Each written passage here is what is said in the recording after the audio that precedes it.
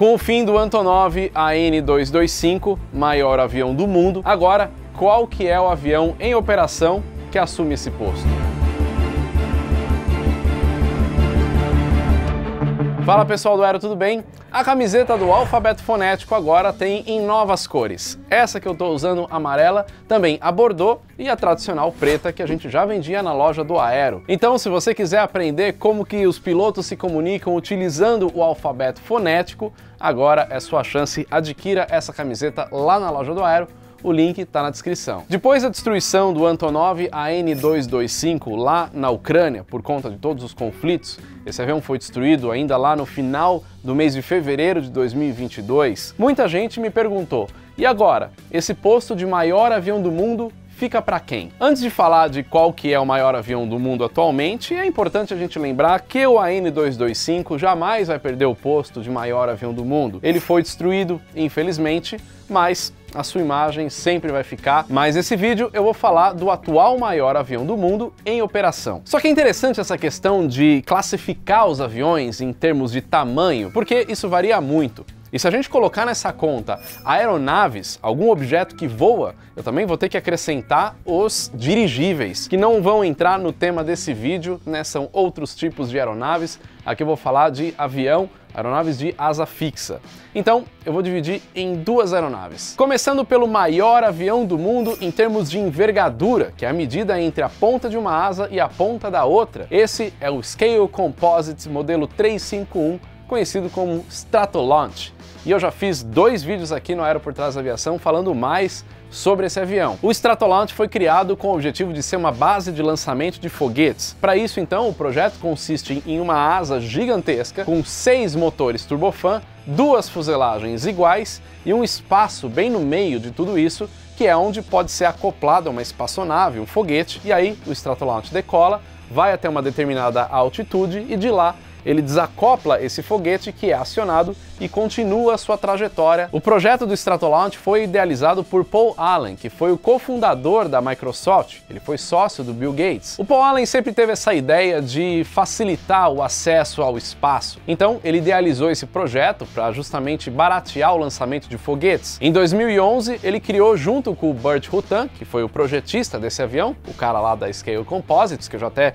fiz vários vídeos sobre ele aqui no Aero por Trás da Aviação, ele criou uma empresa justamente para criar todo esse projeto né, dessa aeronave gigantesca. O projeto acabou passando por alguns percalços, ficou um tempo parado e agora, recentemente, eles retomaram isso e toda a explicação sobre esse projeto está no outro vídeo que eu fiz especificamente sobre o Stratolaunch. O interessante é que o Stratolaunch sempre foi maior em termos de envergadura do que o Antonov AN-225. O AN-225 tinha uma envergadura de 88 metros. Já o Stratolaunch, a gente está falando de 117 metros, então era bem maior.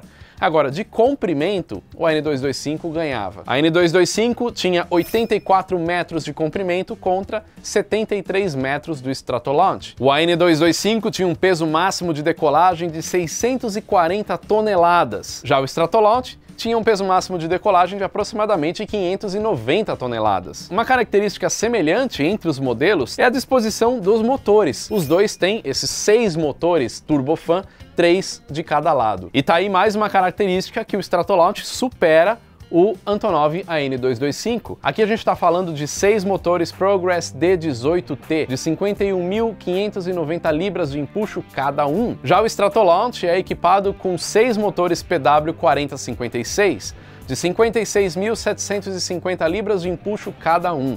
Esse motor, inclusive, é o mesmo da família daquele que equipa o Boeing 747-400. Então, em termos de motores, o Stratolaunch sempre foi mais potente do que o AN225. Mas vale lembrar que a aplicação de operação do Stratolaunch é bem diferente do que era do AN225 e outros aviões que a gente está acostumado a ver. Então a gente não tem muito como comparar esse tamanho, né? Por isso que o posto de maior avião do mundo sempre ficou para o AN225, inclusive por conta de peso máximo de decolagem. Agora, se a gente comparar o AN225 com um avião mais parecido até com o seu formato, qual seria então o maior avião do mundo hoje em operação?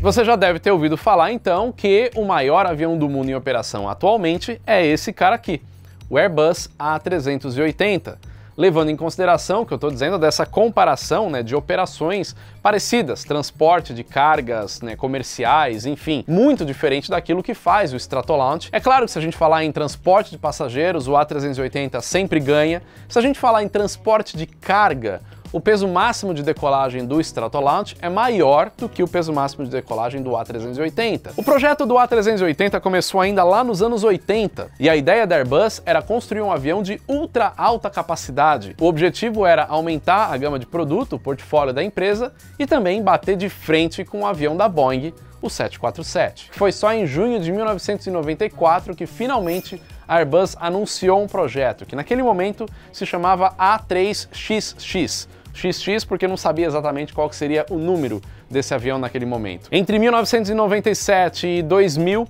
a Airbus refinou esse projeto desse grande avião que eles estavam pensando e chegaram à conclusão que esse avião poderia ter um custo operacional podendo chegar até 20% a menos do que um Boeing 747-400, que era o avião da época. Em dezembro de 2000, o Conselho de Supervisão da recém-estruturada Airbus resolveu lançar de vez esse projeto ao custo de mais de 10 bilhões de dólares. E só no lançamento desse projeto, a Airbus já garantiu seis clientes com 50 pedidos para vender aquele que viria a ser o Airbus A380. O projeto andou e em 2005, cinco unidades do A380 foram construídas para testes e demonstrações da aeronave. O primeiro voo desse avião aconteceu no dia 27 de abril de 2005. O início de produção do A380 acabou atrasando por vários motivos, e aí a Airbus foi anunciando atraso atrás de atraso. No fim, a entrega desse avião estava planejada inicialmente para 2006. Só que só nove aeronaves foram entregues em 2007 e outras 70 aeronaves seriam entregues só em 2009. No final das contas, a primeira entrega do Airbus A380 aconteceu no dia 15 de outubro de 2007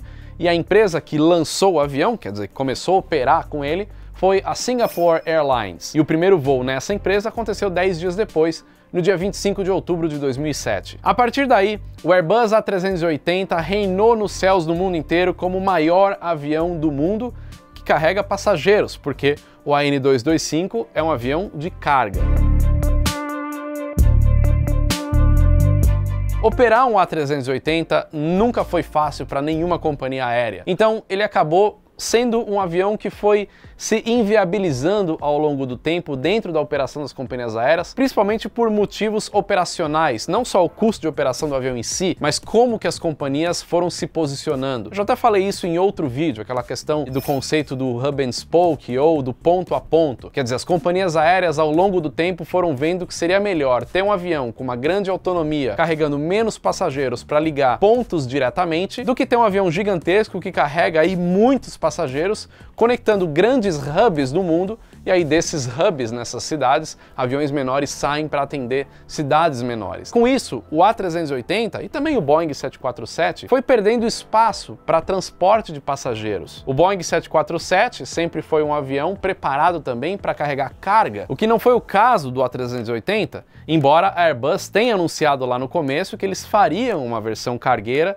mas essa versão acabou não indo para frente. Uma das principais companhias aéreas do mundo que manteve o programa do A380 funcionando é inclusive essa que eu tenho na maquete, a Emirates.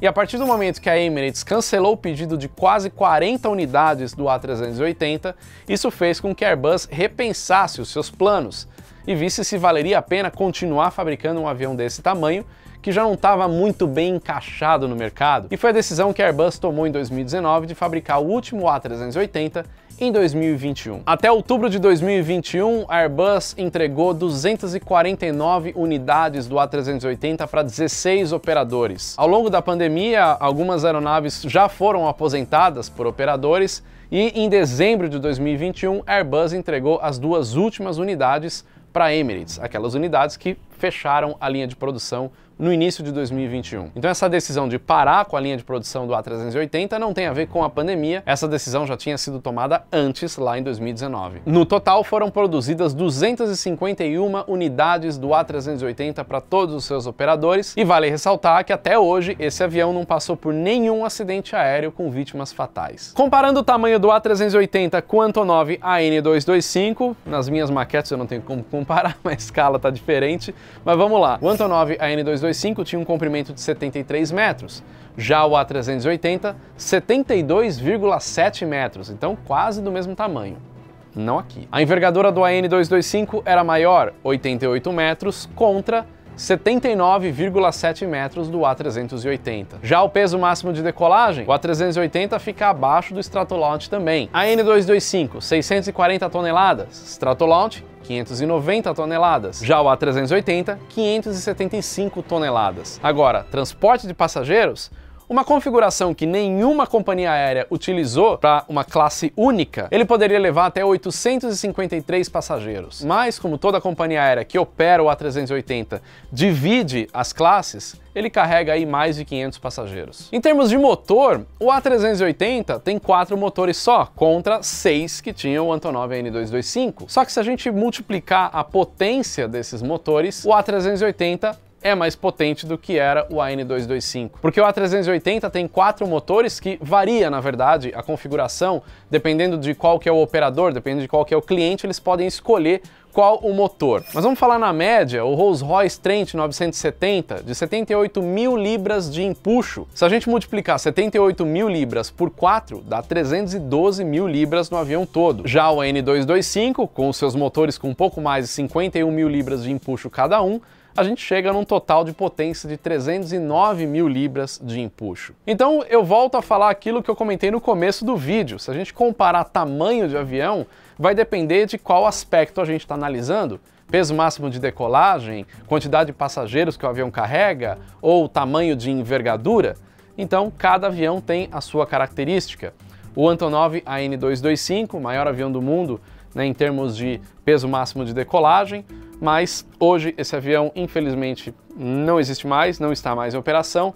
Então, o maior avião do mundo em operação é o Airbus A380. Se a gente não considerar tamanho de envergadura ou peso máximo de decolagem, porque o Stratolaunch é maior do que o A380, mas o A380 é mais comprido que o Stratolaunch, leva muito mais passageiros, porque o Stratolaunch não leva passageiros, o A380 leva vários tipos de carga no seu compartimento de carga embaixo, não tem um cargueiro específico, mas o Stratolaunch só leva um tipo de carga, mas acho que depois de tudo isso que eu expliquei, você já entendeu qual que é atualmente o maior avião do mundo. Espero que você tenha gostado do vídeo, não esquece de curtir e compartilhar com quem você puder, e lembrando você ir lá agora na loja do Aero, já adquirir sua camiseta, novas cores aqui do alfabeto fonético. Beleza? É isso aí então, valeu e até o próximo vídeo.